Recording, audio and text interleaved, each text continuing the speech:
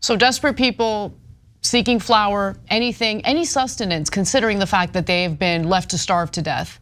And uh, as they're you know swarming the humanitarian aid convoy, convoy the trucks, uh, they get fired at by the IDF.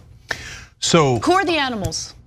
Yeah. Who are the animals, Cenk? Who are the animals? Yeah. Because I'm getting real sick of people on social media referring to Palestinian civilians as animals. Because every story that we've covered, everything that we've investigated and looked into, does not really show Palestinians behaving as animals. It shows the IDF behaving as animals. People who feel real good about themselves shooting their weapons at desperate people as they swarm a humanitarian aid truck.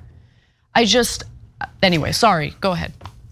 So uh, latest numbers are 112 dead, 760 injured.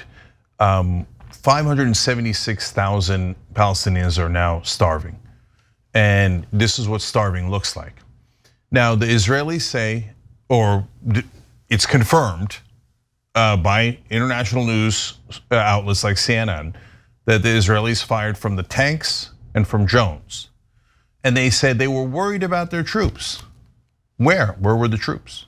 Inside the tanks? They weren't in the drones. So the guys that were inside tanks were slightly, slightly, slightly concerned, I guess, about their, this is the best case scenario for Israel that I'm laying out, about their safety within the tank. So they murdered 112 people at least. And when you started firing into the crowd, what did you think was going to happen? Other than the slaughter from your bullets, that hungry, desperate crowd, of course, was going to panic when you started spraying the place with bullets, and the trucks were going to panic. And you knew that that would also create a stampede.